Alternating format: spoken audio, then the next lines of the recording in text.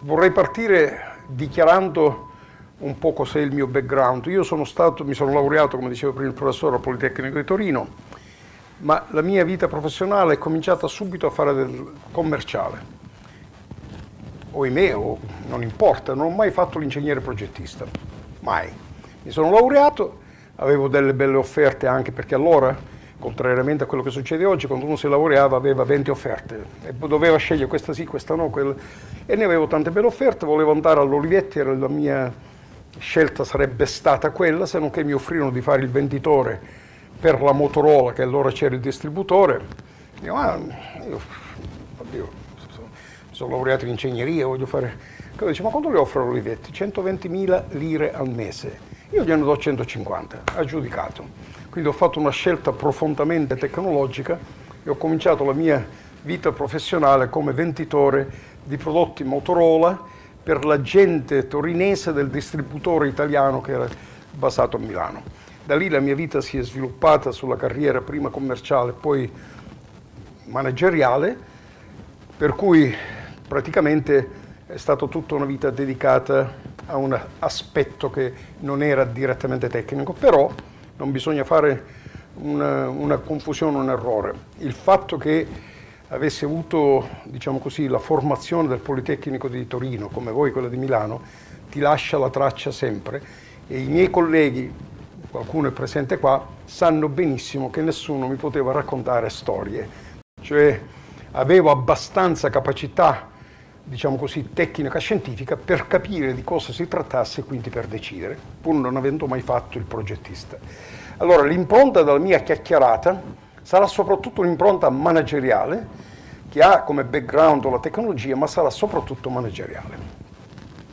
Bene, nella mia esperienza professionale, parlando degli ultimi decenni, io ho qualche secolo di esperienza professionale, mi limito agli ultimi decenni. Negli ultimi decenni si sono sviluppati, secondo me, nel mondo quattro macro, macro trend, quattro grandi tendenze e questi quattro megatrends praticamente hanno influenzato lo sviluppo economico e sociale del mondo e continueranno a influenzarlo nel futuro. E questi macro megatrends che continuano hanno avuto un cambiamento di intensità o di orientamento a causa della crisi, ma comunque sono gli stessi avendo questa differenza. Quali sono questi megatrends? Io ce ne sono altri certamente, poi in qualche settore c'è anche la sua capacità specifica, ma questi riguardano tutta l'economia in generale. E io vedo quattro grandi megatrends che si sono sviluppati, ripeto, da qualche decennio e che sono in atto con delle influenze differenti dovute alla crisi e che continueranno per i prossimi 20-30 anni per cui bisogna essere preparati a fare i conti con questi megatrends per potersi confrontare nel mercato come futuri professionisti. Il primo è la globalizzazione, ormai la si dà per scontata. La globalizzazione nasce da una rivoluzione tecnologica, da una grande innovazione tecnologica, la digitalizzazione e il web. È questo che fa la globalizzazione, perché è stato proprio grazie alla digitalizzazione e al web che è stato possibile trasmettere una quantità illimitata praticamente di dati da una parte al mondo all'altra in tempo reale. Questo cambia tutto, cambia la possibilità, rende possibile trasferire con un clic capitali, knowledge, lavorare in collaborazione a Singapore, a Ginevra, ad Agrate, a Catania allo stesso tempo, rende possibile dialogare con i clienti, quindi praticamente alla base della globalizzazione come premessa fondamentale c'è questa grande innovazione tecnologica che ha permesso proprio la globalizzazione. Poi ci sono state ovviamente delle lentezze politiche, quando nell'89 cade il muro di Berlino, le remore politiche che esistevano si sono rimosse e la globalizzazione è esplosa e siamo in piena globalizzazione. Quindi questo è un primo megatrend col quale ci stiamo confrontando e col quale ci dovremo confrontare e dirò via via poi quali sono secondo me le cose che bisogna fare. La seconda grande uh, megatrend che io penso che sia in atto, che mi pare che abbia influenzato, è quello dell'accelerazione di tutti i processi operativi e della customizzazione dei prodotti e dei servizi. Anche questo nasce dalla rivoluzione in, tecnologica, nasce anche questo dal fatto che abbiamo a disposizione questa capacità di calcolo immensa, che abbiamo questa possibilità di comunicazione immensa, per cui il processo decisionale, trasferimento, il trasferimento di know-how, la capacità di eseguire le cose diventa molto più rapida. E questa innovazione continua. Ormai siamo entrati in un momento in cui si stanno costruendo piattaforme digitali portatili che renderanno possibili, e già rendono abbastanza possibili, avere accesso a qualsiasi informazione in qualsiasi punto del pianeta in quantità illimitate, per cui il processo sia di stile di vita che decisionale nel campo professionale diventa sempre più diverso. Viviamo in un mondo connesso, connesso dappertutto, capacità di decisioni rapide, capacità di cambiamenti. Questo porta anche al fatto della customizzazione, cioè avendo la tecnologia cambiato il processo decisionale, avendo la tecnologia modificato la capacità manifatturiera, per cui è sempre più possibile a costi ragionevoli personalizzare i prodotti e i servizi, nasce e continua a crescere un processo di personalizzazione e customizzazione dei prodotti e dei processi. Quindi questo è il secondo grande megatrend che io vedo in atto e che accelera, e cioè, ripeto, il fatto di avere un'accelerazione di tutti i processi e la customizzazione dei prodotti e servizi. Il terzo grande megatrend, che ripeto in atto da anni, ma che vive e continuerà a vivere per i prossimi 20 anni, 30 anni, è l'esplosione dell'Asia. L'Asia è esplosa dopo qualche secolo di dormiente, è cominciata a esplodere già negli anni 70, ma era un pochino così, si facevano sotto le quattro tigri, vi ricordate le quattro tigri asiatiche?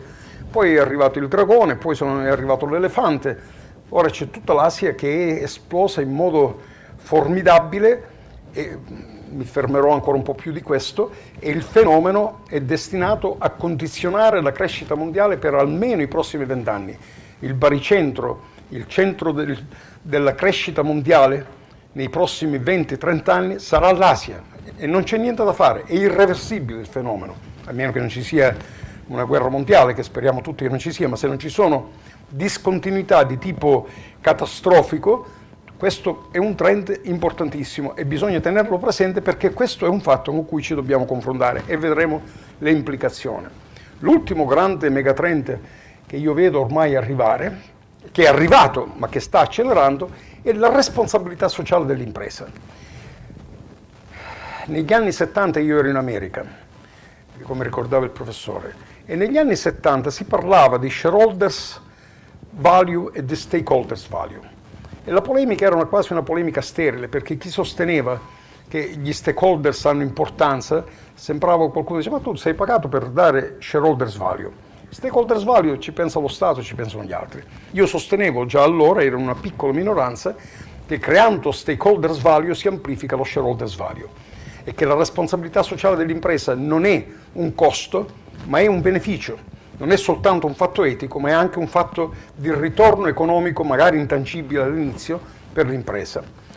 Bene, mentre questo 40 anni fa era probabilmente la posizione di pochi, eh, di una minoranza di managers, oggi sta diventando un grande fatto che non è soltanto opzionale e mandatore, perché le imprese che non saranno capaci di questa di conciliare questo aspetto, avranno meno capacità di competere e avranno una difficoltà ad avere successo. Quindi questi sono i quattro megatrend che io ho visto emergere nella mia vita professionale negli ultimi 20 anni, 25 anni e che sono stati causati, i primi due almeno, da rivoluzioni tecnologiche, gli altri sono stati causati da fenomeni piuttosto di natura sociale. La crisi che abbiamo vissuto e che stiamo vivendo, perché non è finita la crisi, la crisi che stiamo vivendo ha influito su questi fenomeni in modo, diciamo, di accentuarli, non di ridurli.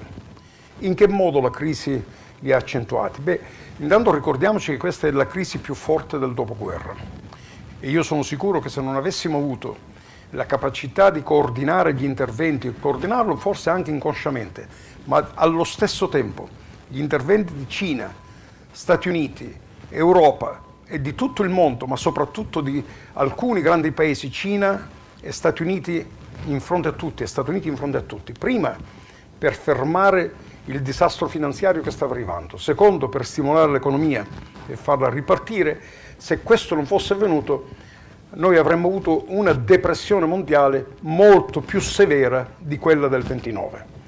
Avremo una crisi mondiale molto più severa del, di qualunque altra del dopoguerra, ma per fortuna abbiamo evitato finora, e non è ancora completamente fuori, la grande depressione, grazie al fatto che Cina, Stati Uniti e Europa hanno messo sul tavolo triliardi di dollari, non milioni o miliardi, ma triliardi di dollari, prima per salvare il sistema finanziario mondiale e poi per stimolare l'economia. Che cosa cambia con la crisi che, ripeto, è in atto ancora?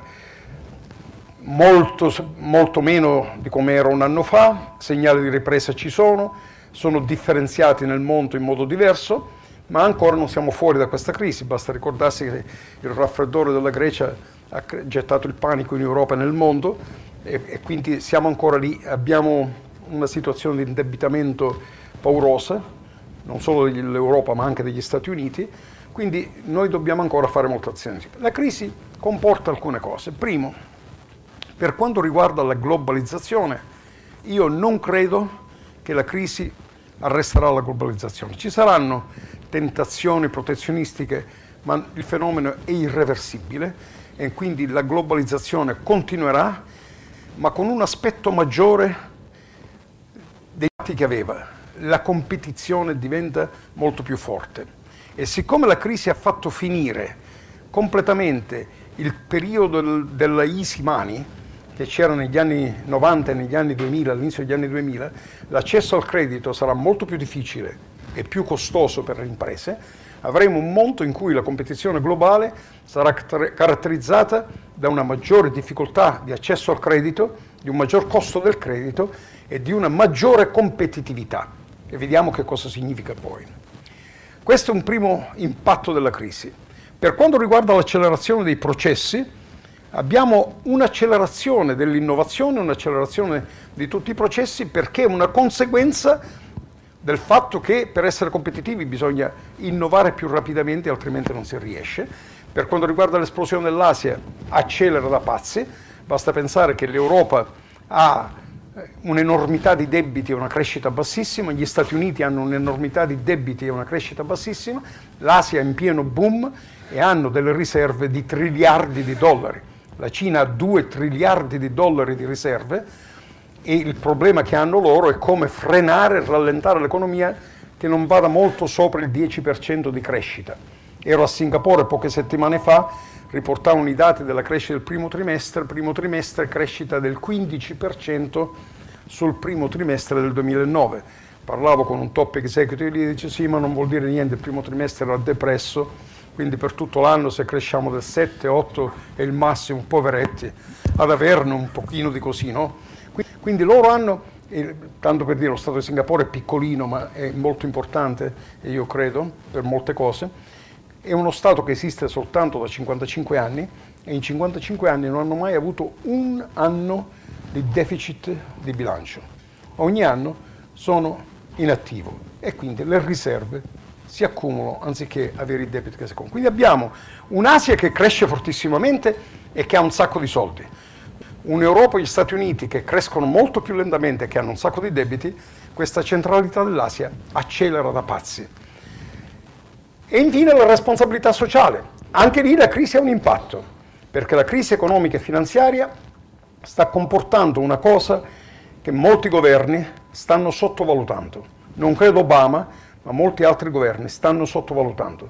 La spaccatura sociale sta aumentando in un modo pericolosissimo sta diventando un grande problema la disoccupazione, la sottoccupazione. In Italia abbiamo 8 milioni di persone che sono sotto la soglia della cosiddetta povertà assoluta, 8 milioni. La povertà assoluta in Italia si definisce, se non ricordo male, 600 euro al mese per capita per un singolo o 1100 euro al mese per un nucleo familiare di 4. E se qualcuno di voi fa il conto e vedere come si vive con 600 euro al mese si rende conto che è povertà assoluta. Beh, questa gente sta male. Abbiamo quindi un fenomeno che non è soltanto italiano, in molti paesi dell'Occidente e negli Stati Uniti abbiamo questo problema dell'aumento della spaccatura sociale. La crisi, ohimè, viene pagata di più dalle fasce più deboli, per cui il, il problema della responsabilità sociale dell'impresa diventa ancora più sentito e sarà spinto dal basso e sarà spinto dall'alto. E infatti i governi stanno spingendo per iniettare maggiore responsabilità sociale, le persone dell'impresa o i cittadini comuni stanno spingendo, per cui quell'altro quarto megatrend esce ancora più importante, più forte da questa crisi. Allora, cosa devono fare le imprese per confrontarsi con questi quattro megatrend cambiati nel modo, come ho detto, o, diciamo, molto forse eh, amplificati dalla crisi che abbiamo vissuto e che ancora non è finita. Ricordo, non è ancora finita. Abbiamo ancora una crescita molto modesta in Europa, eh, l'Italia quest'anno crescerà tra lo 0,5 e l'1%, l'Europa crescerà su per giù lo stesso, l'anno scorso era calata parecchio, il 2008 era calata, per ritornare al livello del 2007 a questi livelli di crescita ci vorrebbero parecchi anni, quindi non si può dire che la crisi è finita quando siamo ancora ben soldi. È finita la caduta, ma non siamo ancora tornati al punto di partenza, ce ne vuole, e la disoccupazione continua a salire. Allora, cosa bisogna fare? Globalizzazione. Che cosa comporta per l'impresa la globalizzazione? Per me comporta alcune cose molto semplici. La prima è quella che è necessaria la dimensione di scala. Per poter competere nel mondo globale, dove i clienti sono globali, i concorrenti sono globali, i mercati sono globali, piccolo e bello non è più bello. Bisogna avere la dimensione di scala reale o virtuale perché si può avere una dimensione di scala mediante aggregazioni, consorsi, eh, forme varie, ma bisogna avere la dimensione di scala che permetta gli investimenti produttivi, la ricerca, il marketing, l'innovazione per poter competere. Quindi la dimensione di scala diventa una delle grandi priorità dell'impresa. Se non si ha la dimensione di scala si rischia di restare emarginati. La seconda cosa che è importantissima è l'innovazione. Lo è stata sempre, lo è stata sempre, ma ora lo diventa ancora di più. In un mondo in cui c'è una competizione esacerbata, esasperata, fortissima, sia perché la crescita nei paesi occidentali sarà più lenta, il fatto che sia più forte in Asia non compensa il calo dei paesi occidentali, Stati Uniti, Europa e Giappone, che non è occidentale, ma comunque dei paesi sviluppati, i quali ancora hanno i due terzi del PIL mondiale, quindi questo rallentamento rende l'economia molto più competitiva. La globalizzazione, la competitività esasperata impone che ci sia un'innovazione più accelerata, bisogna che ci sia un'innovazione più spinta, specialmente considerando il fatto che i paesi come il nostro, che sono in una situazione di, storicamente di sviluppo e che hanno una struttura di costi intrinsecamente più elevata della struttura dei costi dei paesi asiatici, non possono competere col costo del lavoro, devono competere grazie al valore aggiunto intellettuale, grazie a una produttività che aumenta sempre. Questo si ottiene con l'innovazione. Innovazione che per usare un termine, diciamo così, eh, molto usato in Confindustria, è l'innovazione a 360 gradi, cioè da un lato l'innovazione dei prodotti e dei processi produttivi, dall'altro lato l'innovazione dei processi operativi dell'impresa, che è il modo in cui l'impresa si struttura e si organizza per essere sempre più competitiva.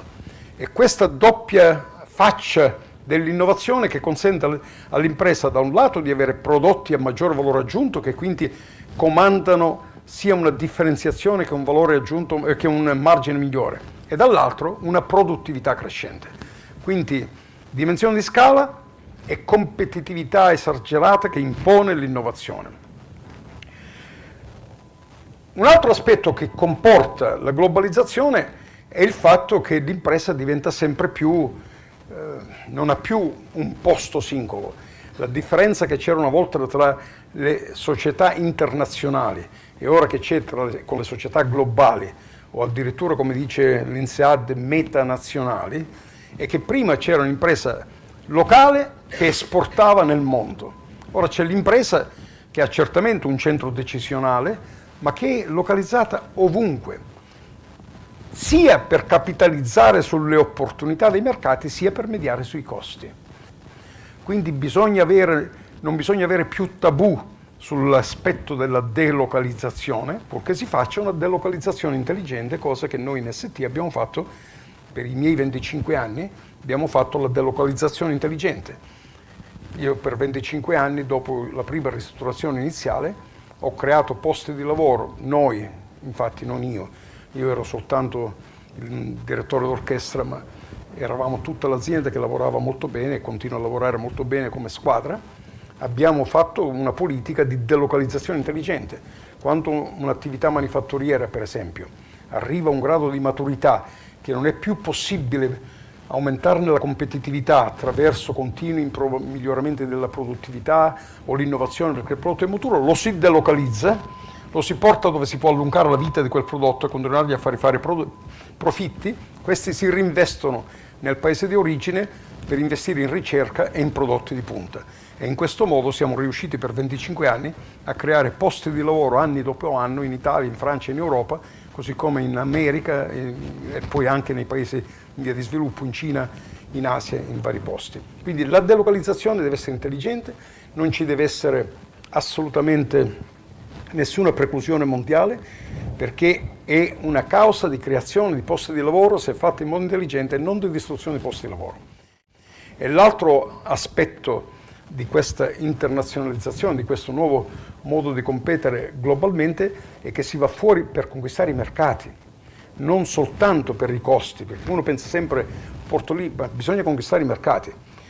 Io non, non ricordo ora esattamente le cifre, ma credo che la ST, un'azienda da 11-12 miliardi di dollari fatturato grosso modo quest'anno, in Italia fatturerà 300-400 milioni, 500 milioni, non so quanto sono le cifre, mentre in Asia fatturerà 5 miliardi. Quindi non sono i 10.000 persone, le 10.000 persone che abbiamo lì che tolgono posti di lavoro qua, sono quelle 10.000 persone che sono lì, che mi consentono di diventare lì, che mantengono le 11.000 persone che abbiamo in Italia che mi permettono di fare ricerca, produzione di punta e non abbiamo un mercato di sbocco in Italia, ma usiamo di quei mercati. Quindi sono queste le sfide della globalizzazione che bisogna tenere presente. Dimensione di scala, accelerazione dell'innovazione, delocalizzazione intelligente. Bisogna usare questi strumenti in modo da poter competere in questo momento di globalizzazione. Un altro elemento che volevo parlare è il secondo, l'accelerazione dei processi e la customizzazione. E qui che cosa vuol dire? Qui vuol dire che l'azienda si deve organizzare in modo da accelerare il processo decisionale e il processo esecutivo. Le decisioni devono essere veloci. E qui c'è un contrasto. L'azienda piccola, per sua natura, è agile, decide rapidamente ed esegue rapidamente. L'azienda grande invece ha il vantaggio della dimensione di scala, con tutti i vantaggi che ne conseguono in termini di ricerca, innovazione, capitali, però è lenta normalmente, perché ci sono diversi livelli organizzativi, ci sono diversi processi di normale eh, struttura interna. Come si fa a risolvere questo problema? E si fa a risolvere questo problema in due modi. L'uno è la cultura, e la cultura mi è piaciuta, vorrei sapere chi è stata la persona che ha fatto quella bellissima immagine, cioè di guidare una portaerei, una, una nave grossa, come si guida un motoscafo. Quindi eh, che, che, che, è esattamente quello che bisogna fare, cioè avere la dimensione di scala ma reagire molto velocemente.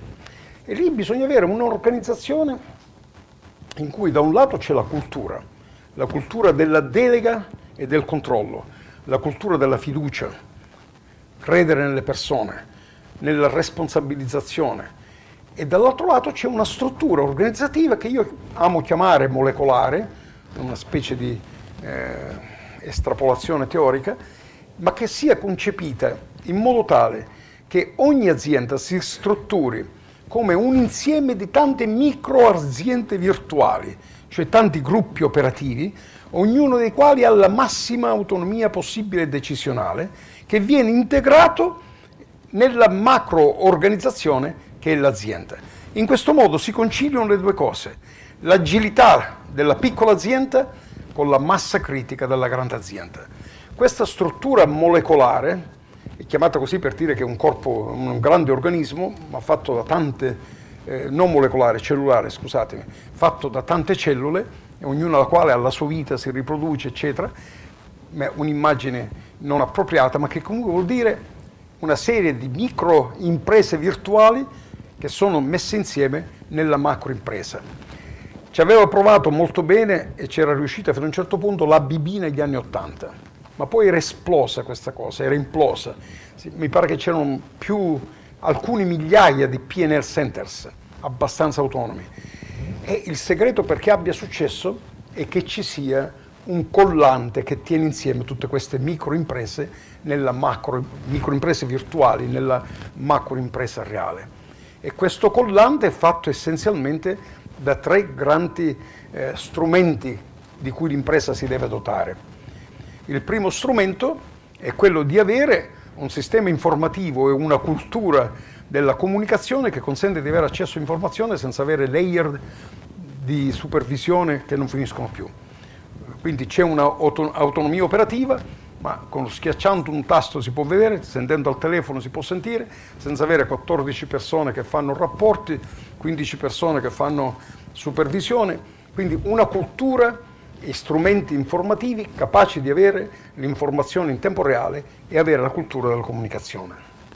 La seconda cosa è quella di avere la politica del policy deployment, come si dice nel TQM, cioè essere in grado di fare un deployment degli obiettivi, di modo che gli obiettivi della macro corporation scendono a pioggia via via deployed su tutte le cosiddette che io chiamo micro corporation virtuali, in modo che quando una micro corporation, cioè un reparto, un gruppo, agisce per raggiungere i suoi obiettivi, automaticamente questi obiettivi sono in sintonia con gli obiettivi della macro corporation e non sono che uno tira da una parte e uno tira dall'altra. E la terza cosa che ci vuole è la cultura aziendale, che è il vero collante. Una cultura aziendale in cui tutti i dipendenti si riconoscono, che sia veramente il DNA dell'impresa.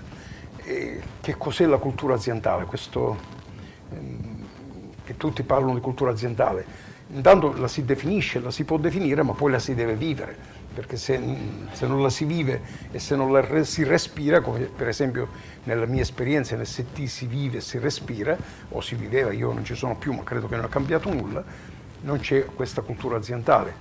Per esempio a me piaceva quantificarla con tre linee, la cultura aziendale della società, integrità, TQM centrato sulle persone e ricerca dell'eccellenza e responsabilità sociale. Questa era la cultura.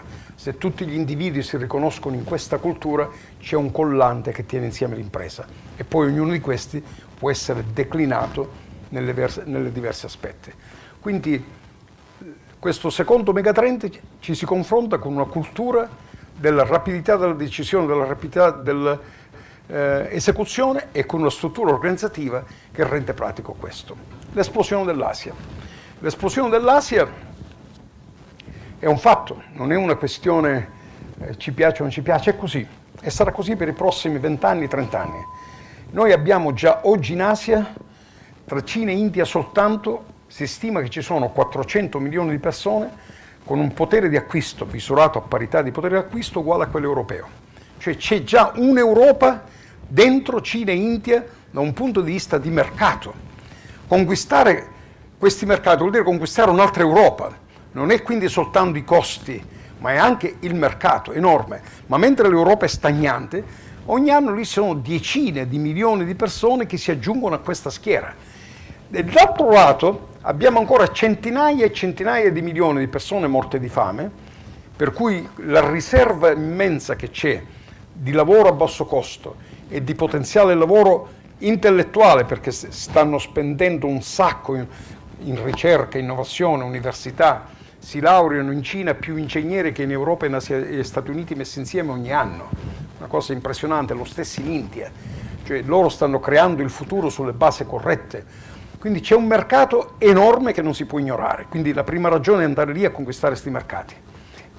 E la seconda ragione è mediare sui costi con quella delocalizzazione intelligente di cui parlavo. Quindi l'Asia non si può ignorare. Qualunque società voglia essere un attore significativo a livello mondiale, se non ha una politica precisa per avere successo in Asia, non potrà avere successo nell'economia globale. Eh, quando vedo una bella società che ha diciamo, il 90% del suo fatturato tra Europa e Stati Uniti e il 10% in Asia, o in Asia l'America Latina e Africa, che purtroppo per ora conta poco, c'è qualcosa che non va. Bisogna fare immediatamente una politica che cambi questa struttura. E nel caso dell'ST lo è stata da parecchi anni ed è stata una delle cose che ci ha aiutato a crescere. Accelero un momentino la responsabilità sociale.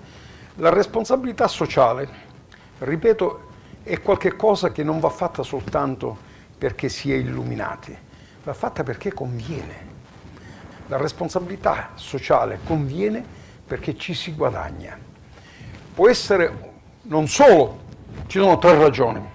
La prima ragione è etica, l'impresa ha una responsabilità etica. La seconda ragione è motivazionale dei giovani. Il futuro di un'impresa dipende dal suo capitale umano, che è sempre più prezioso anche in Italia, dove purtroppo non c'è molta opportunità, ma laddove ci sono i giovani sono la base del futuro e i giovani sono più sensibili, le nuove generazioni delle vecchie, a questa funzione dell'impresa. Per cui attirare, trattenere e motivare, motivare i migliori talenti è più facile se un'azienda ha una responsabilità sociale in cui crede e che pratica, non soltanto che lo mette nei suoi eh, libretti. E infine ci si guadagna. L'esempio più chiaro che ci si guadagna è di quell'aspetto di responsabilità sociale che è la responsabilità ambientale. La ST ne ha fatto un, uno dei suoi pilastri di competitività guadagnando un sacco di soldi. Nell'arco di un, 11 anni, dal, 2004 al 2000, dal 94 al 2005, la ST, grazie alla politica ambientale, come risparmi ha risparmiato 900 milioni, ne ha investito 300, ci ha guadagnato 600 milioni netti. Quindi ci si guadagna. Ci si guadagna anche laddove non si vede, perché è imponderabile eh, quanto, quanto, vale la motivazione della gente. Per esempio la ST come responsabilità sociale praticamente ha tre grandi pilastri su cui si impernia la responsabilità sociale dell'azienda. Il primo è quello di aver aderito immediatamente, io lo firmai immediatamente, il Global Compact di Kofi Annan. Quando uscì questo codice di eh, adesione di comportamento, io fui tra i primissimi nel mondo o in Europa a firmarlo, tant'è che un anno dopo la firma Chirac convocò all'Eliseo l'ST estento italo-francese, io in Francia ero francese, la ST è francese, in Italia italiana e io sono italiano. E tra i CEO che convocò c'ero anch'io, convocò i top 20 CEO, Chirac e Cofannan insieme, per darci una lavata di capo e lì c'erano 20 top CEO di cui solo 7 in un anno avevano firmato il Global Compact e i primi eravamo stati noi, per cui l'ST veniva additata a modello di quello che siamo stati i primi. Perché? Ma perché quello che facevamo era già in quel codice morale, c'era nulla di nuovo per noi, era una cosa che stavamo facendo. Hm? Devo dire che la sera erano 20 che avevano firmato, l'indomani erano una cinquantina in Francia. C'è un certo impatto del presidente che gli fa la strigliata. Comunque, prima il Global Compact, l'adesione a questi principi di comportamento etico. Il secondo è la neutralità ambientale. L'ST ha il goal che è un asintoto che non si raggiungerà mai, ma che tenta alla neutralità ambientale. L'obiettivo è quello di lasciare ai nostri figli lo stesso patrimonio ambientale che abbiamo trovato, come faceva il contadino quando io ero piccolo, la campagna la coltivava, ci mangiava e poi la lasciava a suo figlio e la campagna era la stessa. Quindi cercare di avere un pianeta che sia un pianeta non eh, diciamo, sfruttato perché ereditato, ma perché non è un'immagine mia, è stato ricevuto in prestito dai propri figli e bisogna ritornarlo intatto ai propri figli. E, la terza cosa è quella di destinare una quota dei profitti ai dei progetti di responsabilità sociale. La ST ha fatto una fondazione chiamata ST Foundation che ha come obiettivo quello di, chiudere, di contribuire a chiudere il digital divide nel mondo. Quindi responsabilità sociale che si misura, che si confronta con delle cose concrete e che ha un ritorno, certamente non, in, non tangibile in qualche caso, ma certamente che c'è. Questi sono i, i grandi megatrend con i quali voi giovani vi dovete confrontare e che dovete certamente mettere a profitto perché nella crisi, attenzione, ci sono enormi opportunità. Nella crisi ci sono aziende capaci e aziende non capaci. Le aziende capaci sono molto più eh, avvantaggiati e possono avere un vantaggio. è una cosa che io dico ai miei giovani colleghi nelle imprese, c'è la crisi, ebbene, prima niente panico, secondo eh, vai a fare un po' di shopping, comprati quelli deboli e, e terzo guarda il conto economico per quanto riguarda la cassa, perché la cassa è una cosa molto importante durante la crisi e durante le difficoltà finanziarie. Ma la crisi può presentare momenti di opportunità per i migliori, basta essere i migliori, ci vuole niente, o basta essere tra i migliori. Io dico, se uno vuole avere successo, basta che sia sempre un po' meglio dei suoi concorrenti. Eh, non è una cosa tanto difficile. Bene, due o tre commenti. Che cosa devono fare le imprese? L'abbiamo detto, cosa dovete fare voi giovani? Che cosa devono fare i paesi? Perché siamo in una competizione globale anche per attirare cervelli capitali. I paesi si confrontano per attirare cervelli capitali. Ci sono quattro cose fondamentali che qualunque paese moderno deve fare e stanno facendo in molti, chi più chi meno, per attirare e trattenere capitali. La prima cosa fondamentale è quella di avere un contesto burocratico e normativo che sia veloce, trasparente e garantisca la certezza del diritto. Se questo non c'è, i capitali non vengono e quelli che ci sono se ne vanno.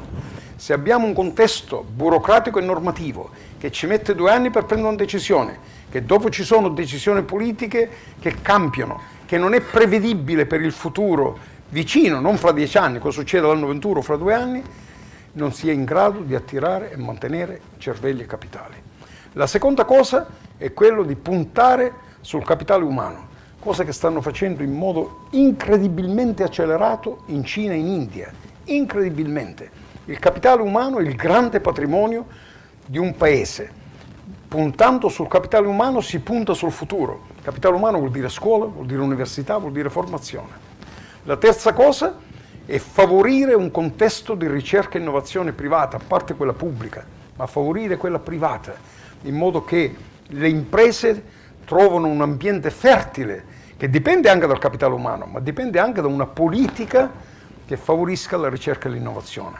E la quarta cosa è quella di fare infrastrutture materiali e immateriali per cui si possa avere un ambiente competitivo. I paesi che riescono a fare queste cose, poi ci sono altri fattori, c'è il costo del lavoro, ma queste sono fondamentali. Se non ci sono questi, un paese è destinato al declino, da un punto di vista economico, da un punto di vista commerciale. Ed è impressionante quello che stanno facendo i paesi emergenti. Ci sta provando molto bene buona parte dell'Europa, ci stanno provando gli Stati Uniti, mi pare che noi siamo in ritardo, purtroppo mi pare che l'Italia non ha la stessa intensità di attenzione in questo campo. Io sono impressionato di Singapore. Singapore è classificato come il primo paese al mondo nel campo della trasparenza e della competitività. Uno deve fare una cosa, si decide in questione di settimane, non di mese, sa esattamente quello che gli aspetta e avrà quello e sa che fra due anni, fra cinque anni il contesto non cambia o se cambia c'è un tempo enorme. Mi impressionava recentemente parlando, ero a Singapore con un alto funzionario, loro hanno una pianificazione del territorio a 50 anni. È piccola l'isola, è più facile. La pianificazione del territorio si fa a 50 anni e si rivede di 5 anni in 5 anni. Dove saremo fra 50 anni? Ah, ecco, allora bisogna fare queste cose. Ogni 5 anni si aggiorna un po' diversa eh, come mentalità. Bisogna avere queste cose. Se non si hanno queste cose si rischia il declino, perché la competitività dei paesi nel contesto globale dipende proprio da questo, contesto normativo e contesto burocratico che consenta rapidità, prevedibilità, trasparenza e certezza, capitale umano, ricerca e innovazione, infrastrutture materiali e immateriali, banda larga, Singapore nel 2012 sarà tutta connessa a un giga. È piccolissima l'isola, ma la Cina, non nel 2012 ma nel 2015, avrà le prime 50 città, che vuol dire una popolazione contro l'Europa, connesse a un giga. Le prime 50 città cinesi nel 2015 saranno tutte connesse a un giga. Quanto sarà l'Europa? Quanto sarà l'Italia? Boh, Qui parliamo di banda larga, ci fermiamo a 100, ma non so quanto. Hm? Quindi bisogna che ci si svegli a queste cose, altrimenti non sarà competitivo. Questi sono i contesti in cui dobbiamo operare, questi i contesti in cui... Ma attenzione, qualunque sia quello che fa il paese, qualunque sia l'ambiente, il futuro manager non ha scuse, deve fare le cose che deve fare, deve fare l'innovazione, deve fare praticamente, usavo dire in azienda, l'immagine che vedevamo era l'azienda si muove su tre assi continuamente. Uno è relentless cost reduction, l'altro è disruptive innovation, l'altro è corporate culture and values.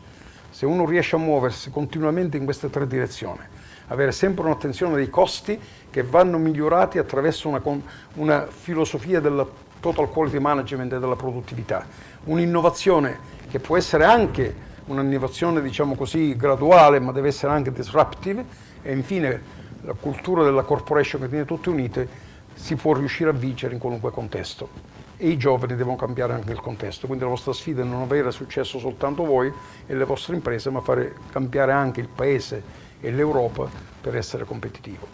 Mi pare che ho parlato abbastanza, chiacchieriamo insieme.